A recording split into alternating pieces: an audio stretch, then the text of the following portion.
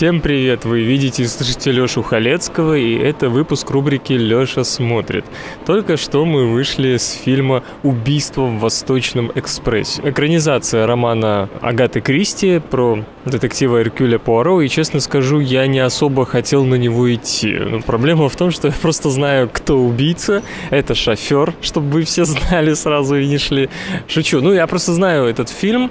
Э, во-первых, я читал сам я уже не помню, роман это или повесть. Во-вторых, я видел э, прекрасную экранизацию Сидни Люмита 74 года, где Альберт Финни играл Эркюля Пуаро. Там еще снимались Ванесса Редгрейв, Шон Коннери, Ингрид Бергман. В общем, офигенно звездный состав для того времени был. И сейчас Кеннет Брана, режиссер вот современной версии, решил, видимо, я не скажу повторить успех, но сделать новую версию просто. И на самом деле, по-хорошему, это удалось. Потому что, ну, зачем, например, смотреть уже теперь фильм Сидни Люмита, если есть э, более соврем... осовремененная версия? Э, есть несколько у меня претензий к этой современной версии, но, тем не менее, по роману, по книге она довольно точно следует истории и если вы не смотрели и не знаете, кто убийца, не знаете, в чем прикол Восточного экспресса, то фильм, по-моему, стоит посмотреть. Другой вопрос, если вы все-таки это все знаете. Вот здесь начинаются проблемы. Э, во-первых, немножко становится скучновато, потому что вы ну, кое-какие перипетии понимаете. Во-вторых, к сожалению, этот фильм во многом американизирован, причем тупо это было сделано, по моему мнению. Э, простой пример. Э, в романе Агаты Кристи один из подозреваемых итальянец. И он становится подозреваемым именно потому, что убитый я просто стараюсь не рассказывать вам сюжет, сюжет чтобы интереснее было. Убитый говорит, что ему э, угрожают итальянцы, которых он когда-то обманул. Ну, по его мнению, ему угрожают итальянцы. А так как в поезде один из какой-то итальянец едет, он и подозреваемый. Что делают в этом фильме? Меняют итальянца на мексиканца и говорят, э, вы знаете, вполне возможно, вот этот чувак мог его убить, потому что у него фамилия Маркес.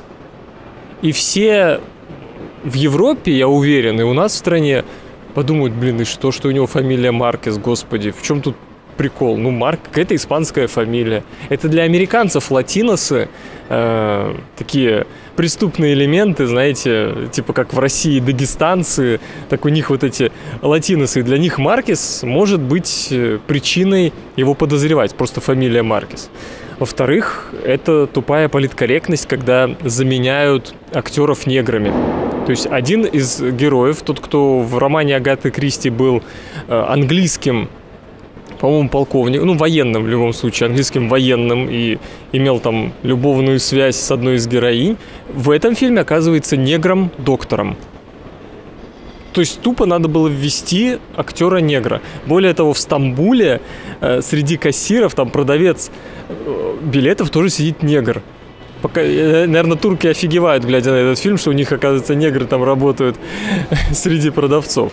То есть это сделано чисто для американского зрителя. Введение латиноса.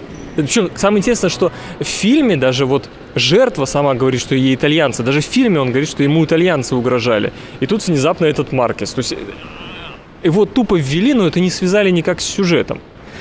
А самая большая претензия у меня Э, к мотивации Иркюля Пуаро э, по его финальному решению.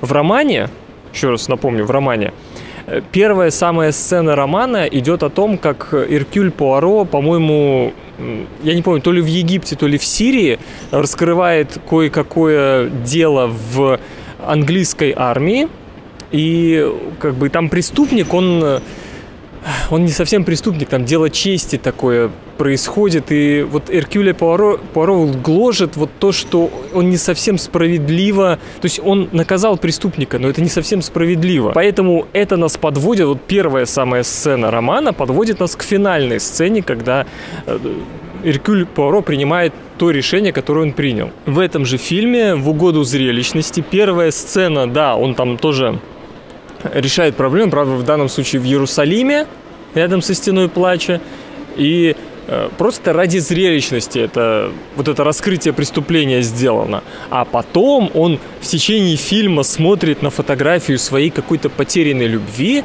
и нас как бы режиссер подводит к мысли о том, что финальное решение Эркюля Пуаро навеяно какими-то э, такими э, семейными переживаниями или любовными переживаниями, что несколько тупо, откровенно говоря, и эта тема вообще не раскрыта по-хорошему. С другой стороны, фильм вот визуально отличный. Очень много операторских находок, за которыми интересно наблюдать. Там и э, съемки сверху персонажей, и съемки лавины, которые сходят. И есть кое-какие... Ну, кстати, еще некоторые претензии. Введены экшен-элементы зачем-то, которых, опять же, в романе не было. Ну, предположим, ладно. Финальная сцена отлично. Она вообще, по-моему, во всех экранизациях. Вот, вот эта финальная сцена э, убийства в Восточном экспрессе, она всегда вызывает вот этот мороз по коже, мурашки, несмотря на то, что ты знаешь, кто убийца.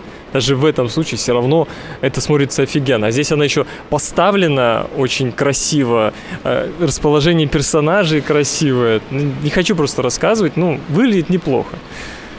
Стоит ли смотреть этот фильм? Мне кажется, прям вот идти в кинотеатр. С другой стороны, вот то, что сейчас идет в кинотеатре, ну мне же не на Мстители идти, где тут, по-моему, какие-то... Или кто-то... А, Лига, Лига Справедливости. Не на Лигу же Справедливости мне идти, понимаете, эти супергероев. Э, ну, было свободное время, мы рядом с кинотеатром посмотрели. Я, в принципе, не жалею. В принципе, неплохой фильм, красиво поставлен. Для тех, кто знает, еще раз повторю, в чем прикол, возможно, будет скучновато. Но мне времени в данном случае не жалко. Так что смотрите интересное кино. Вы видели и слышали Лешу Халецкого. Всем пока.